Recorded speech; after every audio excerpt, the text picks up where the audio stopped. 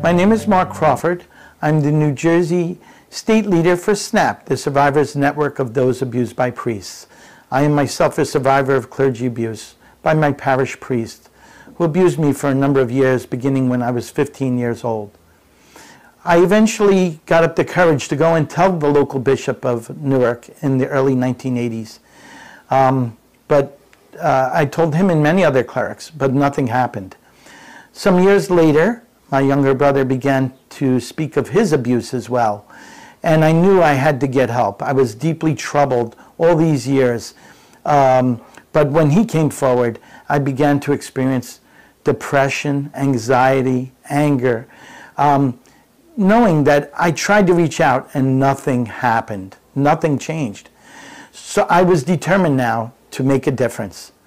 I demanded a meeting with Archbishop McCarrick, who had promoted this, this man who abused me to serve as his personal secretary after I had already notified the Archdiocese. Um, I told him how hurt and offended I was, that they just wanted my silence. They wanted to pay me for silence. He promised many things which never happened. I left, never heard from them again.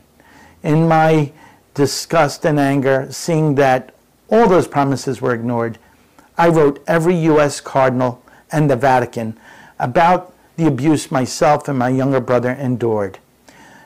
I eventually received a response from several of the cardinals and the Vatican, and again was very disappointed that they simply redirected me back to Archbishop McCarrick. In other words, this is not our problem. You need to deal with it with him. Knowing what had been raging and going on in the church with all the allegations of abuse, again, not much has changed.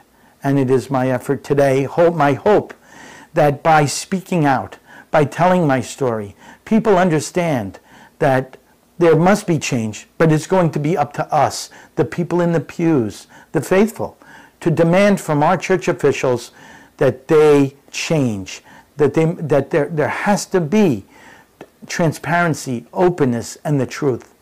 That's what I'm looking for. That's what I hope to accomplish.